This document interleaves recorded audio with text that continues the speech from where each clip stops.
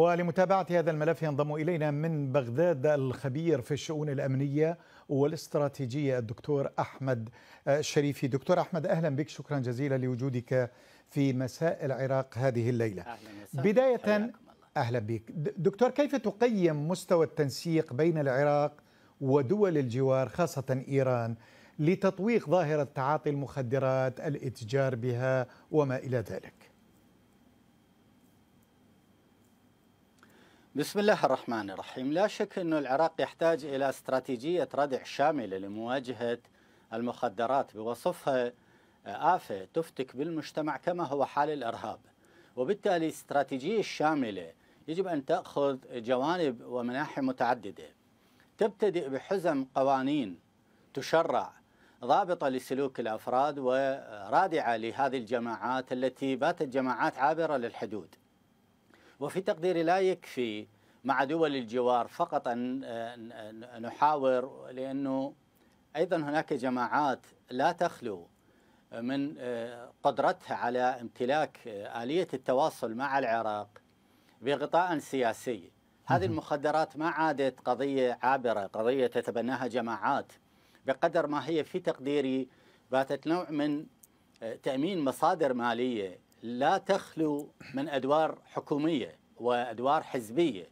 فلذلك إحنا نحتاج إلى كما قلت استراتيجية الشاملة التي ترتكز على أسس أن تشخص كيف تتدفق هذه المخدرات عبر الحدود من هي الجهات التي تؤمنها ولماذا الأكتاف الحدودية مرتخية بالنسبة للعراق؟ لأنه لا يكفي أن نحقق خطوط صد حدودية بالوقت الذي الكتف المقابل هو مرتخي سواء كان في سوريا أو في إيران. ولذلك في تقدير أنه إحنا نحتاج بالحقيقة إلى هذه الاستراتيجية الشاملة التي نبدأ فيها في التشخيص المصدر وما إلى ذلك. ثم نوجد عملية قطع الحدود. لأنه المفارقة الغريبة أنه تجتمع عمليات الإرهاب والمخدرات في مبدأ واحد هو مبدأ كسر الحدود كانت داعش تكسر الحدود لتتدفق عبر العمليات الإرهابية لتدمير مواردنا البشرية واستنزاف قدراتنا المالية الآن المخدرات تؤدي نفس الغرض وتحقق نفس الهدف فإذا نحن أمام معادلة خطرة واضح. جدا ربما نعم. تمثل الصفحة الثانية في الحرب على على العراق كيف نعم. نعالج هذه بالحقيقة شيء حكومي يفترض أن لا لا تكون القبضة مرتخية في هذا الأمر لأنه كما قلنا هم سيان الإرهاب والمخدرات نعم, نعم. دكتور أحمد واحدة من هذه المفردات التي تنتمي للاستراتيجية التي تفضلت بالإشارة إليها هي قضية كفاءة الأجهزة العراقية المختصة في متابعة هذا الملف كيف تقيم أداء هذه الأجهزة؟ ماذا تحتاج هذه الأجهزة لتطوير عملها والارتقاء به؟ تجارة المخدرات كيف انتعشت؟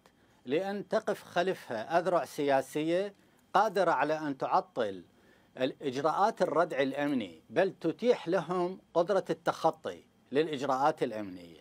فإذا إحنا أمام أمرين. الأمر الأول هو أن نحرر المؤسستين الأمنية والعسكرية من المحاصصة لأن المحاصصة وضع رجل الأمن أو الرجل العسكري تحت ظل الهيمنة السياسية يجعل بشكل أو بآخر أما مرتهن بأحزاب. هي أساسا ولاءاتها عابرة للحدود ومن كانت ولاءاته عابرة للحدود ممكن أن يمررن الإرهاب أو يمررن المخدرات. ثانيا أن نجري تشخيصا دقيقا لتطهير المنتظم السياسي من الخرق السياسي الحاصل ونشخص من الجهة التي تؤمن مجالا حيويا ضامنا لنشاط جماعات المخدرات لأنه من غير المعقول أن تستشري الظاهرة بهذا الشكل وتتضخم دون أن نوجد بما نمتلكه من روادع أمنية وعسكرية نوجد خطوط صد على أقل تقدير تحقق ضمانا للمجتمع. فإحنا بالحقيقة نحتاج إلى مسألتين أساسيتين. تطوير المؤسسة الأمنية بعد ضمان إخراجها من المحاصصة في مهارات قتالية والاعتماد على الانفتاح دوليا في استعارة التجربة كيف تعالج دول العالم المتقدمة مثل هكذا حالات ابتداء من المهارات القتالية للأفراد وانتهاء إلى الجهد التقني ثم نذهب باتجاه تشخيص من المتواطئ الذي يمنح هذه الجماعات نوعا من المرونة والحصانة السياسية في داخل المنتظم السياسي يشخص أمام الرأي العام آه، العراقي ثم يوضع تحت طائلة القانون. هل نعم. يمتلك يمتلك صانع القرار السياسي قدرة وجرأة المواجهة لهذه الجهات المتورطة؟ نعم. دكتور أحمد قبل ما أودعك في مجال معالجة المتعاطين ربما هو ليس من اختصاصك لكن أكيد عندك خبرة بهذا الموضوع. يعني في مجال يعني معالجتهم إعادة تأهيلهم هل هناك عمل أكبر تحتاج الجهات المعنية القيام بماذا ينقصها ولو بإيجاز؟ نعم بالحقيقة نحتاج إلى أهم معادلة وهي مسألة الوعي. والوعي لا يصنع إلا عبر إعلام موضوعي علمي موجه لمواجهة خطورة هذا التحدي وأثره على المجتمع عموما والطاقات الشبابية خصوصا. ثم يأتي دور الجانب الصحي. لابد من تهيئة مصحات قادرة على أن تستوعب المتعاطين. لا أن نلقيهم في السجون لأنه هذه هذه مسألة خاطئة. وأن نجري لهم معالجة. ثم نهيئ من هذه كوادرنا الطبية التي تعالج إلى البطالة نهيئ طواقم آه، نغذيها بالروح الوطنية ونجعلها خط صد. كما كان لدينا جيشا في الميدان تعبويا واجهنا الإرهاب ويوم الوباء كان الجيش الأبيض حاضر في مواجهة الوباء. نعم. فلنذهب باتجاه تهيئة مواردنا الوطنية كجيش آه، يشكل خط صد في معالجة هذه الظاهرة على مستوى بالتحديد الطاقات الشبابية لأنه مورد وطني لا يمكن الاستغناء عنه. نعم كلام جميل. من بغداد الخبير في الشؤون الأمنية والاستراتيجية الدكتور أحمد الشريفي شكرا جزيلا لك.